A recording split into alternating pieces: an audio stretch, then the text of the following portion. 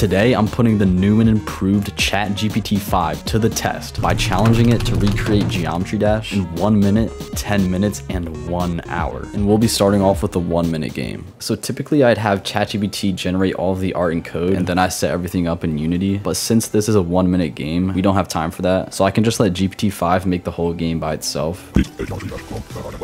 Alright, so that's literally going to be the prompt. So simple. Then I'm to send it and start the 1 minute timer. Alright, 34 seconds left. So it just spits out all of the code here. 22 seconds left. Oh my god, is it to finish the time? Dang, it is still going. That was like 20 minutes over the timer. But I think it counts because it technically finished in 25 seconds. Okay, let's give it a shot. So we press run code right here. Oh my god. Geometry-ish dash. Oh my god. I what? I can't I can't beat it. It's like impossible. One, two, three, four. One, two, three, four. I don't think this game is frame rate independent. Since my computer is pretty decent, the game just runs too fast. I'm gonna see how well I can do on this though. Three, four, five. Oh my god. What? So not only was the game too fast, it was genuinely impossible. So I gave ChatGPT this prompt. Okay, it says it fixed those issues. Now we can run it again. All right, let's see. Okay, now this is a reasonable speed. Whoa. Oh yeah, this feels good. This feels great. Whoa. Feel like we jumped really high. All right, let me go for my high score and then we'll move on to the next game. I'm trying to beat 5,000. Yeah, they're flying at me at this point. Oh my God, I'm about to beat 5,000. Yes, I did it. All right, 10,000. Oh my. At this point, it's just a reaction time test. Oh my God. No, I jumped too early. Okay. 17,000. Let's move on to the 10 minute game now. All right, so here's the prompt I made. I'm going to send this and start the timer. Oh my. Oh my God, it just finished. We have seven minutes and 30 seconds left. Ain't no way it said heck yeah. All right, let's download all these sprites it generated. All right, this is what the sprites look like. So just add the background. First, I'll drag in all the sprites. And then we can add in the background. Actually, really clean background, I can't lie. All right, there's the ground. All right, now we can make the player. So drag him in. Oh, he's way too small. Make him like that big. Now for the spike, it just needs a little box collider and the hazard tag. All right, so I gotta paste all these scripts in real quick. Copy, paste. Alright, so that's all the scripts pasted in. Now I gotta set everything up in the scene. Two minutes left. Let's drag player controller onto the player. Drag the spike spawner on the spawner. So the spike needs to scroll left and destroy off-screen scripts. Then I can drag the prefab into the spawner. Alright, let's see if it works. That should be everything set up. What is this? Bro, I can't even jump. Like, I'm barely jumping off the ground right now. Oh my god, okay, okay. Wait, wait, wait. We gotta buff the player's jump force to like 50. Oh, this might be way too high. Please. Oh my gosh, that's high. Put it to like 32. Oh, so much better. Okay, let me just lower the gravity, but... Oh, that's the timer. I'm gonna adjust some values to make it a little bit more fair. Alright, it should be a lot better now. Oh yeah. Let's see how many I can get now. One, two, three, four, five, six. Six. I gotta get at least 10. One, two, three, four, five, six, seven, eight, nine, ten. There we go. Oh, and I died. All right, so now it's time for the one hour version. Before I start the timer and get to work on the game, I'm gonna generate all of the sprites. So I had ChatGPT come up with all these prompts. We're gonna start off with the player and I'm just gonna paste this in and then it should uh, generate it. Wow. It does look just like the original. All right, now for the ship. Yo, this is some cheeks. I can't even lie. But it is what it is, I guess. This is what it gave me for the floor. Nothing much to say about this one. Now for the background. This is this is low-key kind of clean. Like, I can't even lie. Now it's time for the ship portal. Ooh. I like this. I like this a lot. That's actually really good. Now for the cube portal, we just make a green version of that one. Oh yeah, that's on fire. Like it's so clean, like the glow is so nice. Next up is the spike. That's clean as well. It's just too clean. Now for the, like the square block tiles. Okay, just what I expected. All right, so here's all the sprites I have uh, cropped and ready for the game. So it is time to get started now. So this is gonna be the first prompt. I'm not gonna ask for everything at once because that's just too much to deal with. So we're just starting off with the movement for now. Anyways, send this and start the timer. Heck yeah, let's get that little cube zooming. Okay, buddy. It wants me to get started by creating the player, so let's do that. First, we gotta drag in all the sprites into the game. Then we can drag in the player. Body's looking massive right now. Scale him down to a proper size. We gotta give him a rigid body 2D. So we got scale to five and then freeze it on the z-axis. Then a box collider 2D.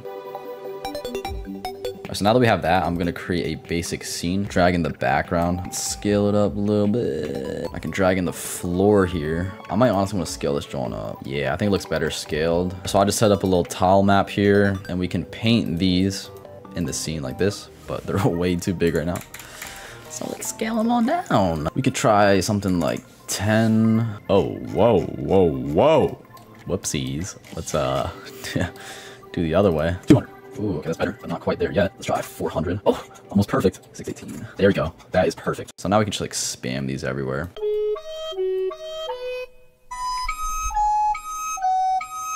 All right, so I made the scene a little bigger so the background goes on for longer and the floor as well. And with that, I'm gonna test out the game just to see if the player like falls and hits the ground.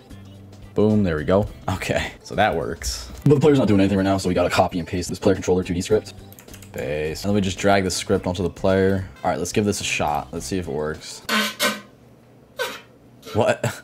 What was that? Why did he like launch like that right away? What was that? So we involuntarily jump right away. And if I press spacebar, I can't jump, like I'm spamming it. Let's just tell it it doesn't work. So it just wants us to replace the code with this. We have 33 minutes left, we're already 27 minutes in. Oh God, okay, okay. If this doesn't work, we're kind of cooked, kind of cooked.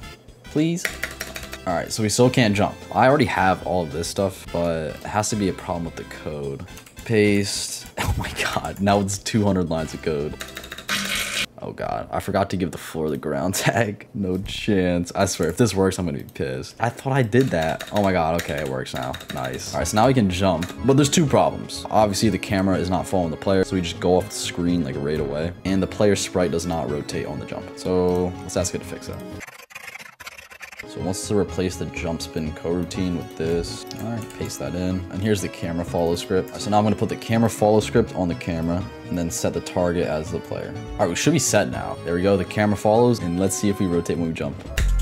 Oh, let's go. I just want to increase the jump force because we definitely don't jump high enough right now. All right, yeah, that's a solid jump height right there. We have 22 minutes left. We gotta hurry this up. So the next thing I want to do is place these spikes in the scene. They need to be able to kill the player. So we gotta ask ChatGPT for that. Why does it always say some stuff like this at the start? Trying to be like relatable or something. So it's telling me we need a level manager. So let's copy this script, paste it in. And then we need a hazard kill script for the spike. So let's copy it. Paste. So I gave these spikes colliders, and now I can just drag on the script. All right, let's give this a shot. Oh, whoa, the, the spikes just fall down. I gotta turn off gravity for them. Round two. There we go, boom. Oh, that's nice. That's crisp. All right, now it's time for the portal. So when we enter the portal, we should switch to the ship. All right, send this. We got 13 minutes left. Oh, this is gonna be tight. So we remade the player controller script. So let's paste this in. We're at 258 lines of code for that. And then we have this portal script. Okay. Let's add the portal to the scene. Oh my gosh. I'll just give it a box collider. Drag the portal script on it. I'm gonna duplicate this portal. Then we can give it the green one. And then this one will turn the player back into a cube. Sweet. So just to test, I'm gonna leave this right here and then this one over here. All right, I have low expectations for this. I do not expect this to work. But let's see. Jump. Oh, whoa, whoa, whoa. Okay, okay. Oh, it kind of works. It kind of works. We got some stuff to fix here. So when we enter the portal, it like thrusts us up. Ayo. So we definitely don't want that to be too strong. So let's lower that to like 20. Yeah, so the rocket actually works pretty nicely. Okay, okay, okay. We're chilling, we're chilling. We have four minutes left. Okay, so the last thing we need to do is set up a level, but we have all the mechanics in place here. So I'm gonna set up a level real quick. Okay, there's that. How much time we got left? 48 seconds. Oh my god, okay, okay. Spike, spike, spike, double spike. Come on, hurry up! Two, oh no. Okay, we're out of time. Uh, this will be the finish line right here. There we go. That's the game. Let's give this level a shot and see if it's playable. oh. what? Oh my gosh, of course, bro. All because I didn't have it set static. All right, here we go. Oh, oh, oh. Uh. Oh my gosh, this is actually so hard. No. Oh, this is good. Yep, jump. Jump. No. Oh my god. Oh, I did it. I did it. I'm at the. Ow. Here we go. Boom. Oh, back to. Oh. Okay. Jump, jump, jump, jump. It was just not possible to beat the level, so I had to give it a little makeover. All right, the level should be much better now. There we go. Oh yeah, so much better there. Nice. Until I get stuck right there. Oh, very nice. All right, now that's doable. A Couple triple spikes here. And there we go. Oh, we did it. Hey. Well, that's the one hour game. All right, chat. So that's all of the games. Let me know which one you like the most in the comments. I personally think the one minute game wins here because making a game like that in one minute is kind of crazy. And here's a side-by-side -side comparison to a Geometry Dash game I made with ChatGPT over two years ago. And the difference is quite substantial. And please subscribe because I'm trying to hit 20,000 subscribers. Please. We don't care. Let me tell, right, let me tell you something. We don't care.